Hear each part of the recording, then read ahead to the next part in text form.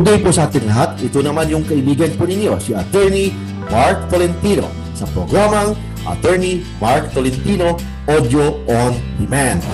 Ang pag-uusapan po natin ngayon is about yung karapatan ng mga kababaihan. Pag-uusapan po natin yan, kaya maya, maramis.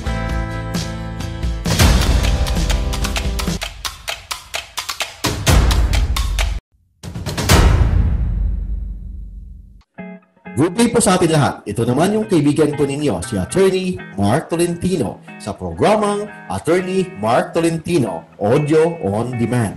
Ang pag-uusapan po natin ngayon is tungkol po sa karapatan ng mga kababaihan or yung batas na Republic Act 9262 or VAU-C Law.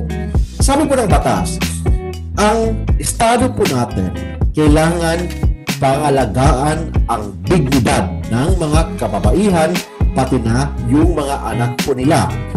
Kasama po dito yung respeto tungkol po sa human rights, respeto and protection po sa pamilya.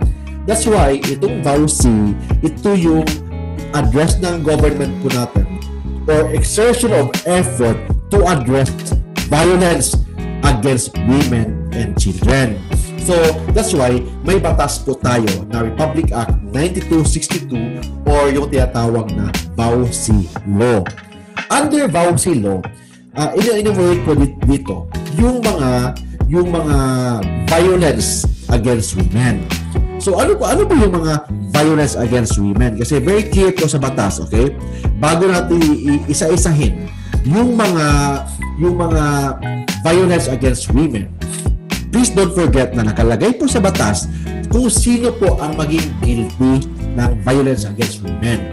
Kailangan yung ex-husband or lalaki na you have a romantic or sexual relationship. Ibig sabihin, kung hindi mo boyfriend, kaibigan mo lang, hindi mo pwede mademanda ng VAUSI. Kasi very clear po sa VAUSI, kailangan you have a romantic relationship you have a dating relationship, you have a sexual relationship, or at least he is your ex-husband or your current husband para maging para siya ang madimanda mo. Kasi kung kaibigan mo lang siya, hindi mo pwedeng madimanda ng policy or violence against women's right. So ano-ano po yung mga tinatawag na violence against women? Of course, una, yung tinatawag na physical harm, physical violence that you committed against a woman or her children. Don't forget na ang guilty dito sa Bausi, lalaki lang. And second, principal guilty. I'm not saying lahat guilty, uh, hindi kasama ang babae dito kasi possible, pwede rin yung babae, for example, yung kalaguyo ni lalaki, pwede isama sa VAUSI. But kailangan ang principal liable sa VAUSI, kailangan lalaki and yung biktima, kailangan silang dalawa, si biktima at saka yung accused, masab romantic, sexual, dating relationship, or at least he is the ex-husband or the current husband of the victim. Ano yung mga violence? Number one, physical harm Ibig sabihin, sinuntok, ginawang punching bag ni lalaki, si babae or yung kanyang anak. Second, yung tinatawag na pananakot against against imminent physical harm. Uh, tinatakot mo yung asawa mo, girlfriend mo, nasuntukin mo, uh, yan. Or actually, hindi lang tinatakot mo, hindi lang tinatreat mo na nasuntukin, sinuntok mo talaga. Ginawa mong punching bag to the extent na uh, pwede mamatay, pwede maging uh, pwede maging lumpo, yung tinatawag na serious physical injury, basta any physical harm that you committed, pwede ka maging liable against POWC. And second, you compel your wife or your ex-girlfriend or your girlfriend na you threat him, tinatakot mo siya na i-deprive yung bata ninyo. Ibig sabihin, yung bata, kunin mo ang bata. Parang tinatakot mo na kunin mo, yung, kunin mo ang sarili ninyong anak that is already possible. Kaya ang batas, threatening to deprive or actually depriving. Hindi pa nga kinukuha ang bata eh. Threat pa lang eh. threatening to deprive or actually depriving the woman of the child of custody. Ibig sabihin, kunin ang custody ng bata.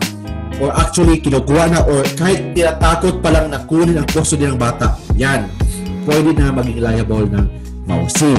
Second, depriving or threatening to deprive financial support.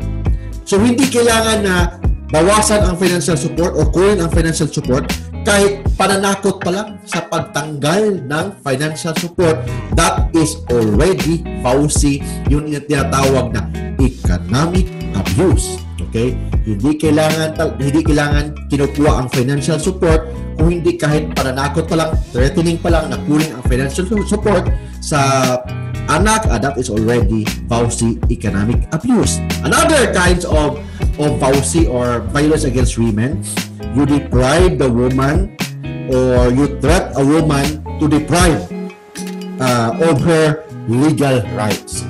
Ano yung mga legal rights? For example, support, mga ganyan.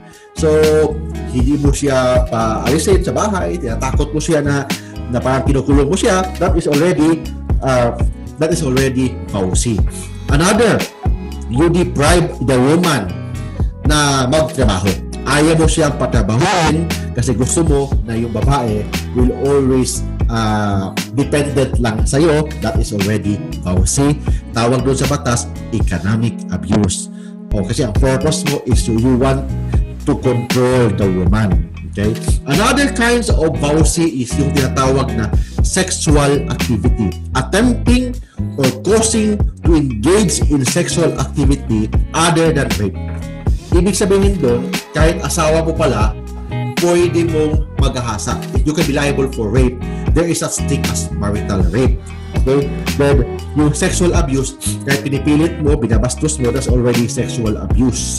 So, pwede yan, pwede kang mademanda sa BAUSI on the grounds of sexual abuse. Another, yung emotional abuse, psychological abuse. Ano po yan?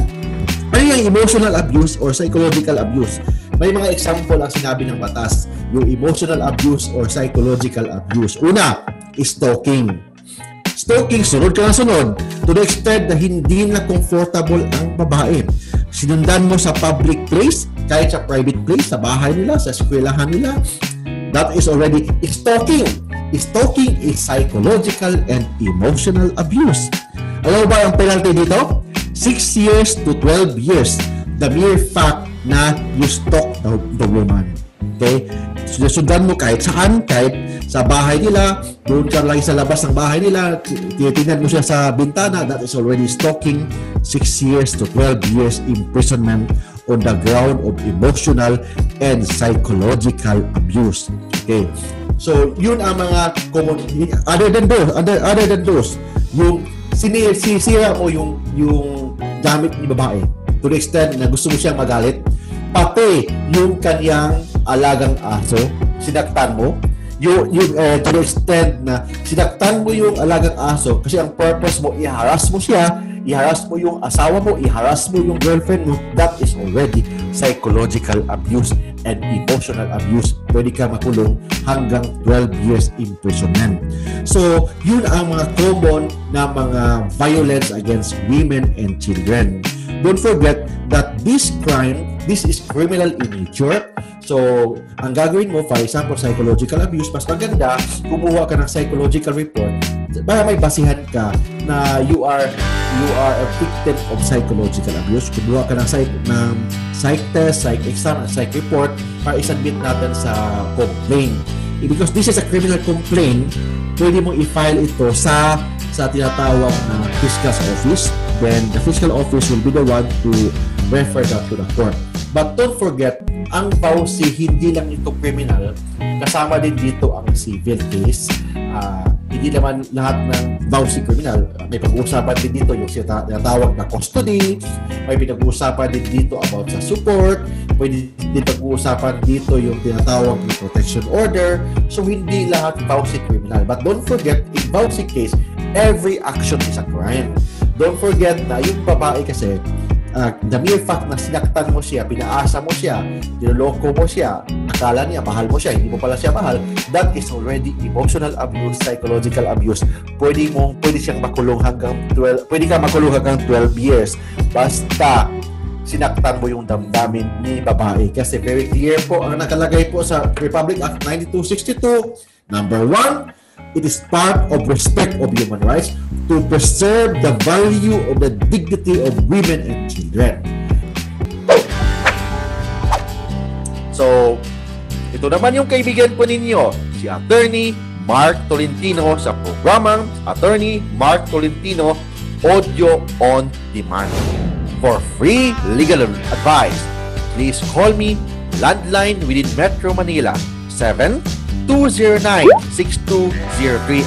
I repeat po, 7-209-6203 and mobile number natin, pwede kayo mag-text, tumawag, or through Viber or WhatsApp sa 0917-329-5353. I repeat po, 0917-329-5353 and pwede rin kayong tumawag, mag-text or through Viber sa 0932 88